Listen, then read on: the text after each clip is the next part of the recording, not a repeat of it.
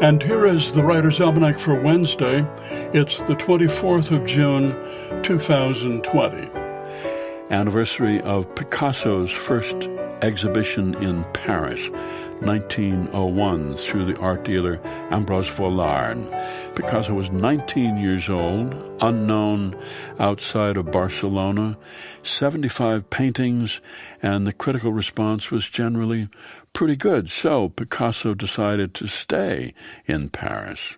That summer, 1901, marked the beginning of his blue period, which lasted three years, during which he painted his famous The Old Guitarist.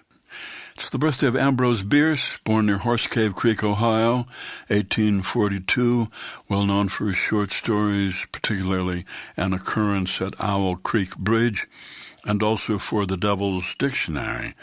He was in the Union Army in the Civil War. He fought in some of the bloodiest battles, later wrote stories about the war, bleak, bitter stories with senseless deaths and no heroes. It was on this day in 1374 in Aachen, Germany, the first recorded outbreak of dancing plague or dancing mania, also known as St. Vitus's dance, began. Thousands of people at a time dancing uncontrollably, days, weeks, even months, until they collapsed from exhaustion. Some danced themselves to death.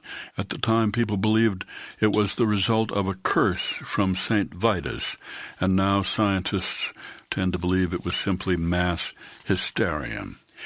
It's the birthday of the poet John Ciardi, born in Little Italy, Boston's North End, 1916, author of many collections of poetry, and also the textbook How Does a Poem Mean, still widely used in high schools and it's the birthday of the novelist Anita Desai, born in Mussoorie, India, 1937. Her mother German, her father Bengali.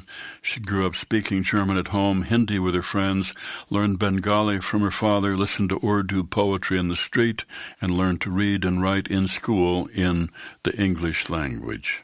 Author of 12 novels, all in English, Clear Light of Day, In Custody, Fasting, Feasting, three of them. And it's the birthday of the poet Stephen Dunn, born Forest Hills, New York, 1939.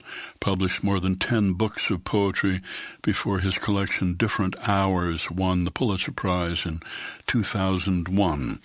His first love was basketball. He was a star on the Hofstra basketball team of 1962. They went 25 and 1 on the year, played pro basketball for a couple of years after that. He was a brochure writer for Nabisco for seven years and then quit, moved to Spain with his wife, and started to write poetry. Here's a poem for today by Maxine Kumin entitled Spring Training for Victor. Some things never change. The velvet flock of the turf, the baseline smoothed to suede, the ancient smell of peanuts, the harsh smack the ball makes burrowing into the catcher's mitt. Here in the grapefruit league's trellised shade, you catch Pie Traynor's lofting right field foul all over again. You're ten in Fenway Park and wait past supper time for him to autograph it, then race for home, all goosebumps in the dark, to roll the keepsake ball in paraffin. Soften your second-hand glove with neat's foot oil and wrap your Louisville slugger with friction tape. The Texas Leaguers, whatever league you're in, still tantalize the way they waver and drop. Carl Hubbell's magical screwball is still, give or take, 60 years unhittable. Sunset comes late, but comes inexorable. What lingers is the slender hook of hope. Spring Training, a poem by Maxine Kumin from her collection Connecting the Dots. That's the Writer's Almanac for Wednesday, June the 24th. The Writer's Almanac funded by donations from listeners like you. And it's available on PRX for distribution by your local radio station.